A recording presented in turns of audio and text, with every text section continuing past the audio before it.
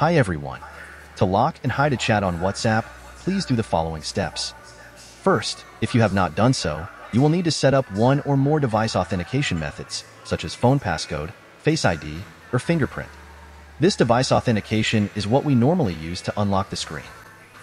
If you try to lock a chat before setting up any device authentication, WhatsApp will prompt you to set up one first before you can lock any chat. Alright, so once you've set up a device authentication, tap and hold the chats you want to lock until the chat menu appears at the top of the screen. You can lock multiple chats at once, so you might want to select all the chats you want to lock. After that, tap the hidden menu icon at the top right corner of the screen, and then tap Lock Chats. Tap Continue on the following screen, and then provide your device authentication, either your Face ID or your fingerprint. For this phone, I use fingerprint, so I'll just touch my phone's fingerprint sensor to lock this chat. Once you have successfully locked a chat, a Locked Chats folder will appear at the top of the chats list, where all the locked chats will be kept. Alright, from this point onward, you have two options. You can either leave this chats folder visible at the top of the chats list, or completely hide it. If you leave it visible, you can open the locked chats by tapping the locked chats folder, and then unlock it using any of the device authentications you set up earlier.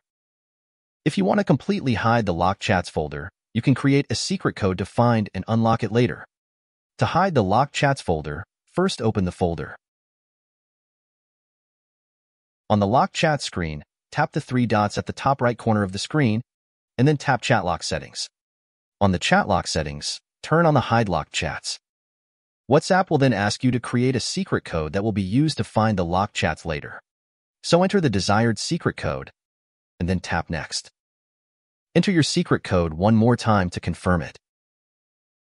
And as you can see here, your secret code is now turned on. Alright, now if you go back to the chats list, the locked chats folder will be gone. To find and open your locked chats, tap the search icon, and then type in your secret code on the search bar.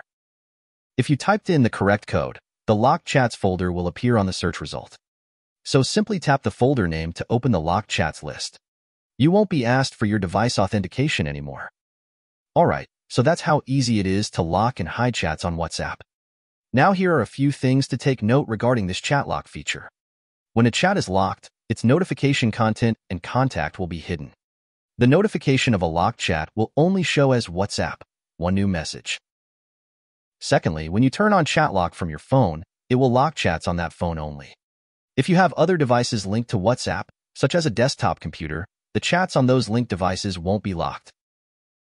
Another thing to take note is that if you restore WhatsApp chats on a new phone from a backup that contains locked chats, the locked chats will remain locked on the new phone. You will need to set up device authentications on the new phone before you can access your locked chats. And lastly, ChatLock also works on group chats and muted chats.